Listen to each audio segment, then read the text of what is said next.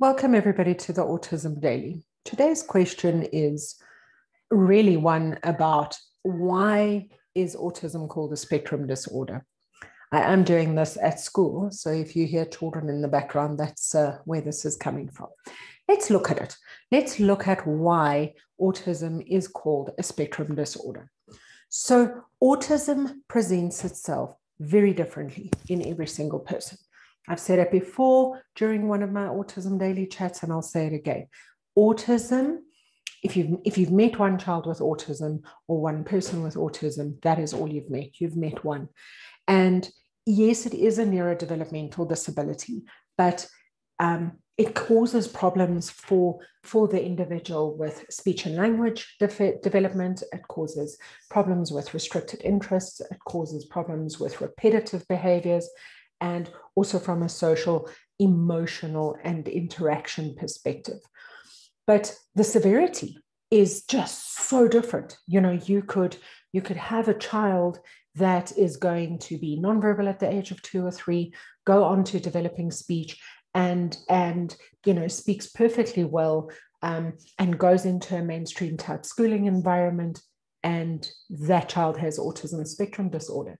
In the same breath, you could have my daughter, um, Maddie, profoundly autistic, 14 years old, still nonverbal. And a small percentage of children with autism spectrum disorder will grow up to be nonverbal adults. Some children, when they're diagnosed, will um, already speak. You know, speech or not speaking isn't isn't a prerequisite for is the child or isn't the child autistic. Many people um, or many children are diagnosed with autism when they do speak. On the contrary, in recent years, many adults are diagnosed with an autism spectrum disorder. And, um, you know, it just is so different for every single child. We can look at a couple of other things that differ, things like comorbidities. Some children have comorbidities, others don't. Some children really struggle, or individuals really struggle with sensory challenges or what they refer to as sensory integration um, disorder.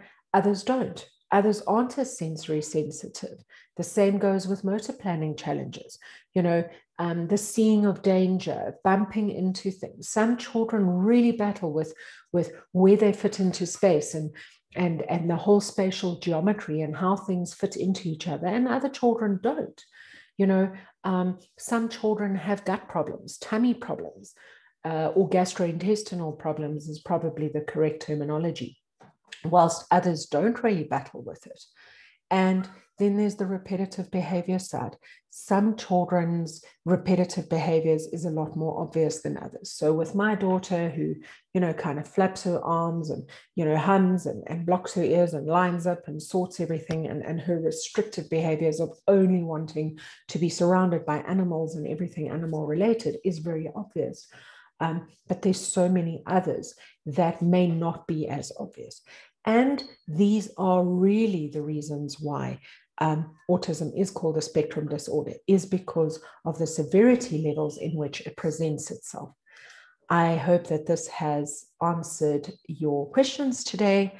Uh, we look forward to another session with you soon. Have a good day or a good evening, good morning, wherever you are listening to this today. We'll see you soon.